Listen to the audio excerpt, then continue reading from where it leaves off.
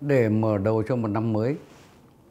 Trong các cái chương trình vạn sự, tôi có xin đề cập một số các cái cách đánh giá và vận dụng trong từng cái chùm vạn sự như sau.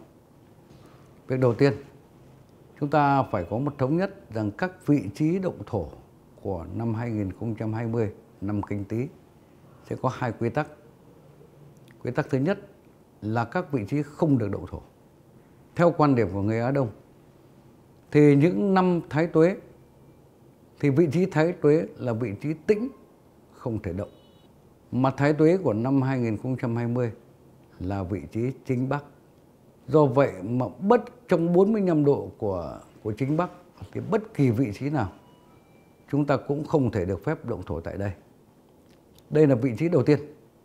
Vị trí quan trọng thứ hai, rằng trong một mảnh đất hay một ngôi nhà vị trí chính đông, cung chấn là vị trí của trường khí ngũ hoàng thổ đang đóng.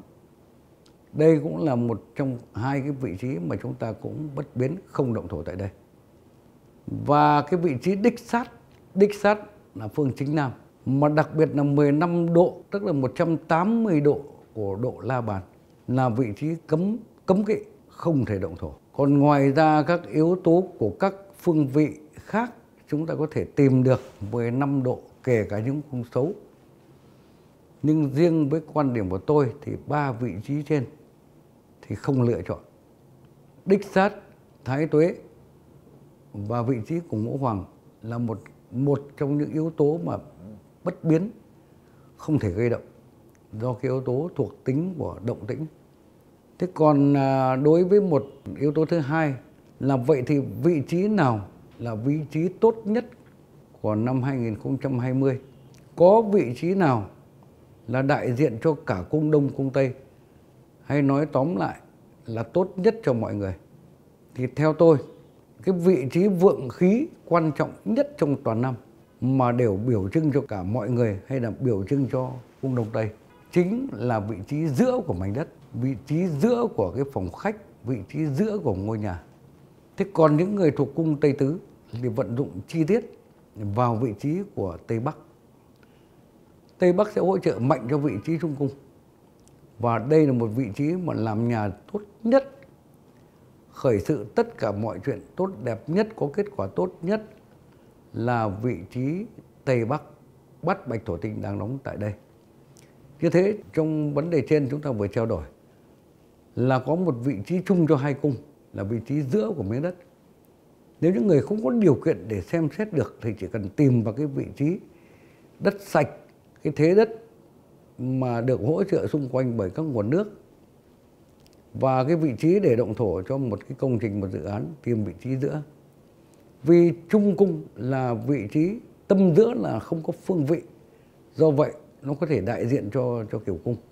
Thế còn những người thuộc cung Tây Tứ, do dễ nhận biết thì chỉ việc tìm vị trí của Tây Bắc. Tôi đang nói cái kiến thức để dành cho bất kỳ một ai cũng thể chọn được cho mình. Một vị trí mà nó không phức tạp, nó đại diện cho tất cả những cái điều tốt lành. Việc thứ hai,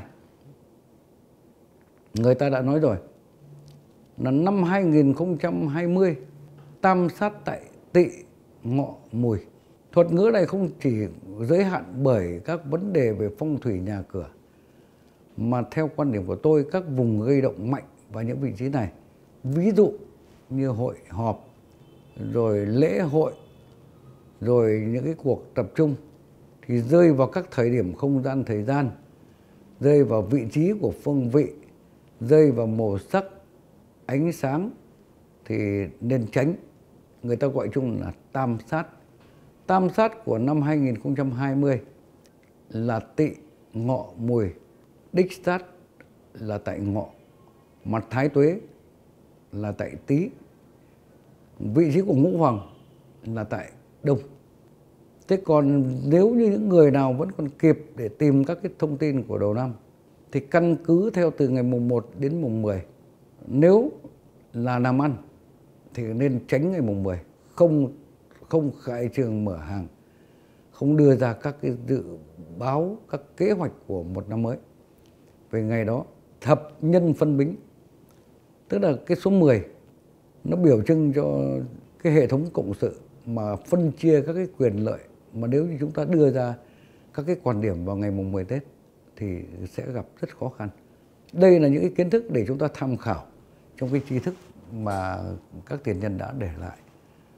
Và với một mong muốn, tôi có một vài cái đóng góp nhân cái đầu xuân và cũng là một cái kiến thức để chúng ta có những yếu tố để bổ sung vào trong cái kho tàng chung và trong cái nhận thức để chúng ta đấu tranh cho mọi chuyện tốt đẹp hơn. Xin à, kính chúc mọi chuyện như ý mình.